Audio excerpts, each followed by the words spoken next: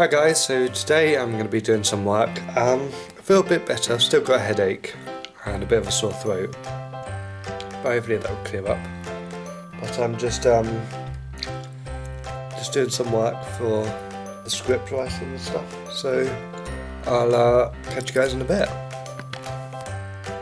So I'm just watching a little bit of House. I like House, it's very interesting about like diseases and um, conditions and stuff. It's very good.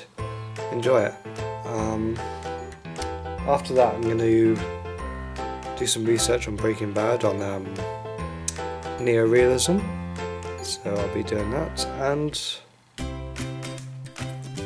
so yeah, I'll uh, catch you guys in a bit. Hi guys, so I'm going to be watching a bit of House now. Um, on episode, I think 16 of season one uh, which is really good. And I enjoy House. It's really good. I really, it's different. It's uh, it's he's like Sherlock Holmes but medicine. So yeah, it's awesome. Um, next, I really need to watch is Arrow season three and uh, Flash as well. But and and Gotham as well. Looking, I need to watch that as well. But uh, yeah, so um, I'll catch you guys in a bit.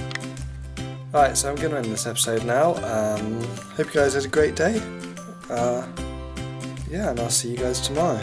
Got, I'm going to uni tomorrow to do some editing, so that'll be fun. And uh, so yeah, I'll see you guys tomorrow. Bye.